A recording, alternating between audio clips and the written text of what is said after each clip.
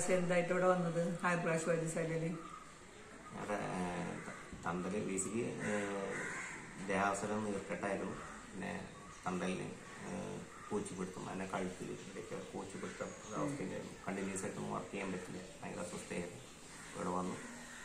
രഞ്ജി സാറിനുണ്ട് പിന്നെ അവിടെ മാഡം പിന്നെ അവ- അവരൊക്കെ നിർദ്ദേശാനുസരണം രണ്ട് ദിവസത്തെ ഉഴിച്ചിൽ അത് മറ്റേ ഉള്ളിലേക്ക് കഴിക്കാനുള്ള മരുന്നുകൾ ഇതൊക്കെ കഴിച്ചു. മാറ്റമുണ്ട്. ദേഹസ്വസ്ഥനൊക്കെ നല്ല കുറവുണ്ട്. ബോൺ സെറ്റിംഗ് ചെയ്തിരുന്നു? അത് നല്ല രീതിയിലുള്ള കാര്യങ്ങളൊക്കെ നന്നായിരുന്നു. അപ്പോൾ ദേഹമൊക്കെ നല്ല അയ- അയവ് കിട്ടുന്നുണ്ട് കുറച്ചുകൂടി കഴിയുന്നുകൂടി ഭംഗിയായിട്ട് ചെയ്യണമെന്ന് വിചാരിക്കുന്നു ദൈവം അനുഗ്രഹിക്കട്ടെ മോനെ എവിടെ നിന്ന് വന്നത്? ഞാൻ വേലൂര്. കേച്ചേരി പോയിട്ട് വേലൂര്.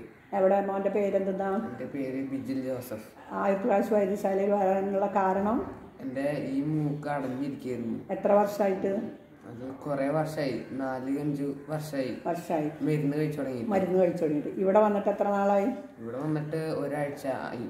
ഒരാഴ്ച ഒരാഴ്ചയായി. ആ ഒരാഴ്ചയുടെ ഉള്ളിൽ നിങ്ങൾക്ക് എന്താ വ്യത്യാസം കണ്ടേ? നല്ല വ്യത്യാസം വന്നു. മൂക്ക് തുറന്നു. പിന്നെ എന്നിട്ട് ആ പൊടിയുടെ അലർജി നല്ല അലർജി ആയിരുന്നു. പൊടി വന്നാൽ അപ്പോൾ തുമ്മു. അതൊക്കെ മാറി.